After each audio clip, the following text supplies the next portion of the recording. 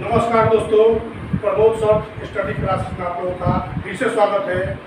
आज मैं सचिन रमेश तेंदुलकर के बारे में कुछ बताऊँगा, जो कि ये क्रिकेट जगत से रिश्ता रखते हैं। ऐसे हमारे अभी देश में जापान ओलंपिक की चर्चा बहुत जोरों से चल रही है।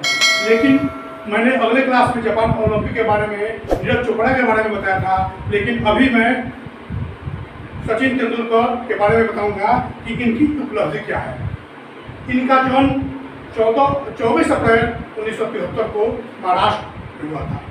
पिता रमेश तेंदुलकर तथा माँ का नाम रजनी तेंदुलकर है।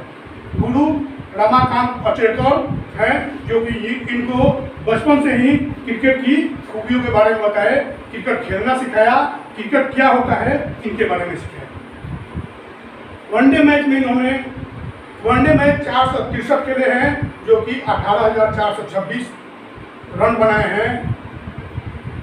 उनचास सेंचुरी है। वनडे में इन्होंने सबसे ज़्यादा दो सौ रन बनाए हैं। टेस्ट दो सौ मैच खेले हैं।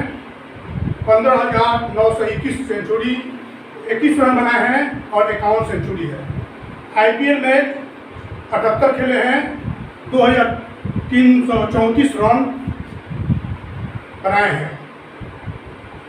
यह एकमात्र ऐसे खिलाड़ी हैं जो भारत की तरफ़ से, भारत रत्न से सम्मानित हुए और उन्नीस में अर्जुन पुरस्कार से सम्मानित किए गए, उन्नीस में राजीव गांधी खेल रत्न अवार्ड से सम्मानित किए। भारत रत्न इनको 2014 में मिला, जो कि किसी भी खिलाड़ी को अभी तक नहीं मिला। था ये प्रथम खिलाड़ी हैं जो कि भारत रत्न से इनको सम्मानित किया।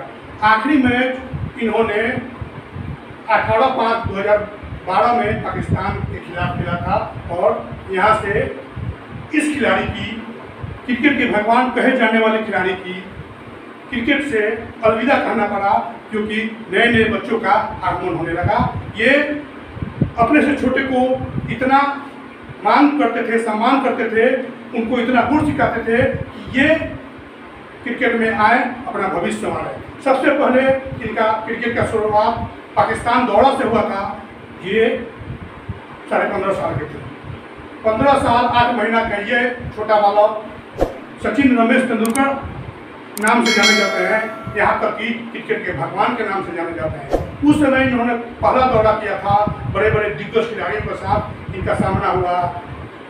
बहुत ऐसी कहानियाँ इनके बारे में आती है कि इनको फ़र्स्ट ही दौरा में क्रिकेट बॉल से चोट लगा और ये घायल होकर गिर पड़े। इनके साथी खिलाड़ी भी बोलते थे कि आप चले जाओ, बाहर बैठो और आराम करो। लेकिन ये धैर्य की परीक्षा देते रहे और डट कर सामना किया और ये उस मैच को जिता नहीं सके, लेकिन ड्रॉ कराया उसी समय से इनका नाम स्वर्ण अक्षरों में लिखा जाने लगा।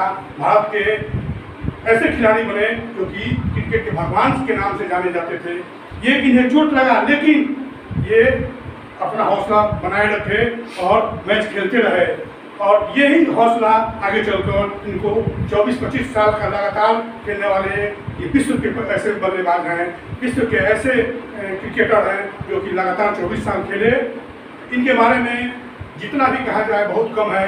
ऐसे व्यक्तियों का मान सम्मान भारत में इतना किया जाता है कि इनके लिए स्पेशल भारत रत्न दिया गया। खेल जगत में भारत रत्न नहीं दिया जाता था लेकिन इनकी उपलब्धि के कारण, इतने इनके खेल के कारण भारत रत्न से समा गया। इन्हीं के, इसी के क्रिकेट को भगवान कहा जाता है, इसलिए ये सचिन रमेश तेंदुलकर के नाम से प्रसिद्ध हुए। नमस्कार।